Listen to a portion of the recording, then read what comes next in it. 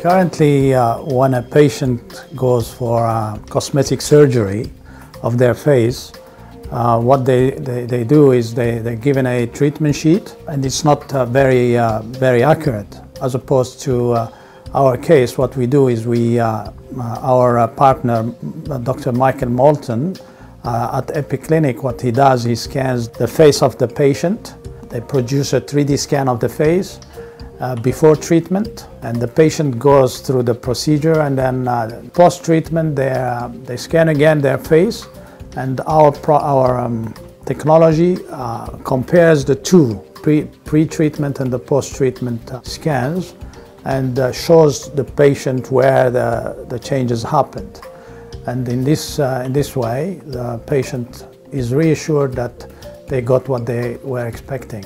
We've been working in this area of 3D for uh, uh, close to 20 years now. I mean, the scanning is, is quick, and then the alignment of the, of the scans, the pre and the post, is very quick. It takes uh, seconds for us to do that.